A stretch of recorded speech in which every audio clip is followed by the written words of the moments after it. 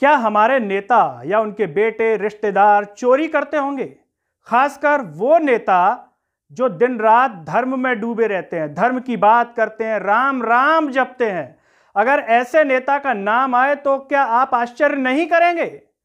हम बात कर रहे हैं मध्य प्रदेश के एक ऐसे कद्दावर नेता की जिसका एमपी में जलवा हुआ करता था, जलवा चलता था। लेकिन ऐसा लग रहा है कि उनके जलवे को हलवा बनाने की तैयारी कर दी गई है। नमस्कार, मैं हूँ गिरिराज शर्मा और आप देख रहे हैं सरल टॉक। बात कर रहे हैं मध्य प्रदेश के पूर्व गृह मंत्री नरोत्तम मिश्रा की। नरोत्तम मिश्रा की गिनती उन नेताओं में होती है जिनके बयान वायरल होते थे, जो अपने मुख से अगर कुछ कह दें तो दिन रात उस पर चर्चा होती थी। वो नाम है नरोत्तम मिश्रा। दतिया से विधानसभा में चुनाव हार गए। उसके बाद ऐसा लग रहा है कि नरोत्तम मिश्रा की राजनीति को शायद नज़र लग गई है। ना ज़्यादा कहीं लाइमलाइट में दिखाई देते हैं और ना ही ज़्यादा अब उनके बयान सामने आते हैं। लेकिन आज एक खबर उनसे जुड़ी हुई सामने आ गई। नरोत्तम मिश्रा के एक बेटे हैं अंशुमन मिश्रा, जिनका ग्वालियर में एक रिसोर्ट है, इंपीरियल गोल्फ रिसोर्ट। ये रिसोर्ट झांसी बाईपास पर स्थित है। इसमें एक पार्टनर भी है, विल्डर रोहित वाधवा।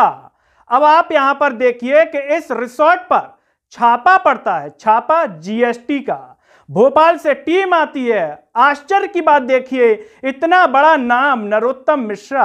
गुप्त रखा जाता है इस छापे को जीएसटी विभाग की तरफ़ से। और जब टीम आती है ग्वालियर भी तो ग्वालियर का जो जीएसटी डिपार्टमेंट के जो कर्मचारी हैं उनको भी सिर्फ़ साथ में ले जाया जाता है। बताया नहीं जाता कि कहाँ जा रहे हैं। ये छापा 11 मार्च को पड़ा है, यानी कि चल रहा है। अभी भी एक टीम वहाँ पर है और जानकारी मीडिया रिपोर्ट्स के मुताबिक जो आ रही है, वो आ रही है कि डेढ़ से दो करोड़ की टैक्स चोरी इसमें सामने आई है। आप सोचिए, इतना बड़ा नाम नरोत्तम मिश्रा, उनके बेटे अंशुमन मिश्रा और वो टैक्स चोरी के मामले में खबर आए तो कैसा लगेगा? सोचिए, इतने लाखों में, करोड़ों में फॉलोअर्स होते हैं, जब ये खबर पहुंचेगी कि हमारे नेता के बेटे जी तो टैक्स चोरी में पकड़े गए हैं। तो बताइए, कैसा लगेगा उन्हें? क्या उनके मन में भाव नहीं आएगा कि हम भी किसी भी प्रकार की चोरी कर लें? जब हमारे नेता के जो अनुयायी हैं, हमारे नेता के जो सुपुत्र हैं, वो इसमें आ रहे हैं, क्या नहीं आएगा? जो लीडर होते हैं, जिन, जो हीरो होते हैं, जिनके फैंस होते हैं, वो उन्हीं को तो फॉलो करते हैं।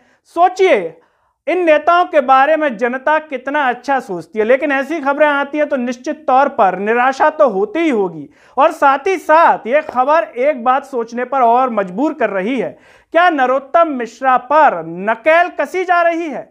जैसे जैसे और समय आएगा, क्या नरोत्तम मिश्रा की राजनीति पर नकेल कसने की तैयारी हो रही है, या फिर विभाग अपना काम कर रहा है। इसमें किसी भी प्रकार की कोई चीज़ नहीं है। कोई भी व्यक्ति हो, बराबर तरीके से काम होता है। उसमें किसी भी प्रकार का भेदभाव नहीं होता। यह भाजपा पार्टी की तरफ़ से मैसेज दिया गया है। आप इसे किस तरह से देखते हैं? जिस तरह से भी देखते हो, कमेंट बॉक्स में ज़रूर बताइएगा। इस वीडियो को हर जगह शेयर कीजिएगा। चैनल को सब्सक्राइब कीजिएगा। साथ ही साथ सरल टॉक के Facebook Twitter Telegram Instagram page को आप ज़रूर फॉलो कीजिएगा। अंत में सभी से कपिल है कि सरल टॉप को ज्वाइन व थैंक्स बटन के द्वारा ज़रूर सपोर्ट कीजिए, जिससे हम और बेहतर कार्य कर सकें। नमस्कार।